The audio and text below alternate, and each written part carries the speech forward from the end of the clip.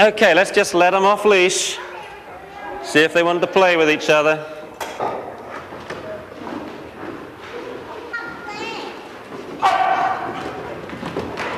Looks like all the dogs having a great time apart from little Westy hiding there and uh, Geisha the Akita's a little bit uptight, but she's going to get into playing sooner or later.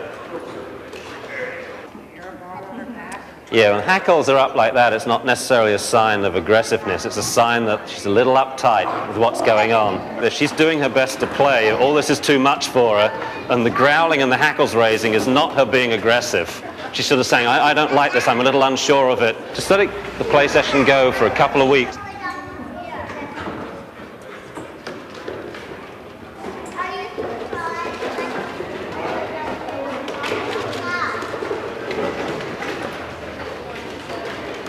Oh, look, there's Nessie having a little play under the chairs.